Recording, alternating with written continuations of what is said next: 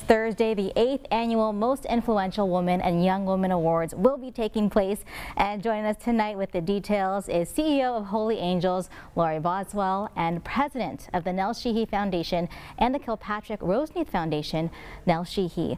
Welcome to the program, Laurie and Nell. Thank you. Thank you very much. We're happy to be here. We're happy to have you. So, Laurie, I'll start with you. Tell us the purpose of these awards. This award is just so incredibly important for the community. First of all, it honors Virginia Shehee, our trailblazer, who really just made a point of building uh, hope for those who were often hopeless, for helping to push education as something very important and a means of empowerment, and also to honor other women who, like Virginia, are working to better their community. Well, Nell, I know she's speaking about your mother here, so tell us about how many women will be honored this week.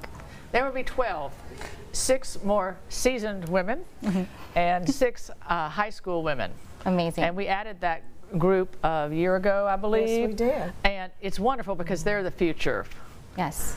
And their resumes were amazing compared to what I did in high school. It's unbelievable. We had, honest, honestly, we had a 23 candidates. We only had six spots, but every single one of them could have been in the six slots. They were so good with their 4.9 averages and their uh, missionizing in South America, studying medicine in high school. They're just uh, amazing. And of course, the six seasoned women have decades of activism and volunteerism behind them. So we've got a great, great group this year, as usual. That's very exciting, and I know that the proceeds from this event actually end up going to a great cause. Laura, you want to tell us about that? Holy Angels is so honored to be chosen as the recipient of the funds, and I think it's so um, appropriate because this, we had a group of sisters, a congregation of uh, nuns who worked with Virginia Shehee to sustain Holy Angels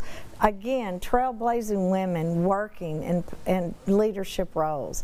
And so Holy Angels today uh, is here because of the work of Virginia and the sisters and so many others. And we're serving over 200 individuals, um, children ages 2 through 21 in our community school. 18 and older in a day program and all of those individuals live in the community and come to Holy Angels. And then we have 180 individuals in residential services. All of our overarching purpose is empowerment and help individuals maximize their abilities and to live in the least restrictive environment possible. Yes, well, it sounds like it's going to be quite the event. So, Laurie, tell us how we can get tickets and where it's going to be. We encourage everyone to go on to the Holy Angels website for tickets. It is www.laholyangels.org. And you definitely don't want to miss this event, guys. You are seeing those details on your screen. And ladies, before I let you go, um, there is an elephant in the room here, guys, because the woman sitting next to me here has been nationally recognized yes. by USA Today by Woman of the Year. So Nell, just tell us, how does it feel? It was um, a complete and total surprise, uh, totally unexpected. Um, I'm very grateful for the award, but quite surprised. and it's been a bit overwhelming. I, I, can imagine it is overwhelming. I mean, the work that you do in the community as well as Holy Angels. Well, there's so many other oh, people oh, in, yes. in, the state, hundreds and hundreds of women who do this all the time. Um, and before we finish up on that, I do want to thank our sponsors, yes, Red River Bank mm -hmm. and the Shreveport Times. Mm -hmm. And we're excited to have Jackie Jovic. Yes, our yes, very own Jackie. As our yes. MC. So it's going to be a great event. We still have a few tickets left, a mm -hmm. couple of tables, so get get those, uh, make those calls, get those reservations in. It's going to be a, a, great event. Absolutely. Well, Fox 3 is a proud partner of Operation Kindness, and we are happy to be a part of it. And your mother would be so proud and so thrilled. And I had the good fortune of knowing Virginia and seeing how proud she was of her children.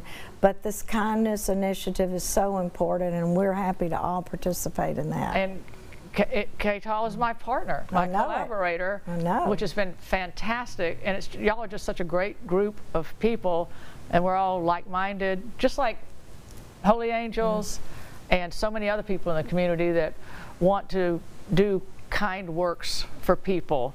who are disadvantaged and underserved, kindness is a very potent tool. Yes. Anyone can do it. It's free.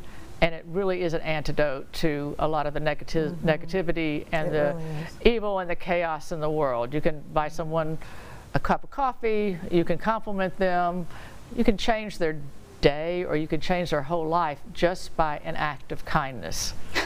And that is why she was recognized by USA Today. You heard her heart there.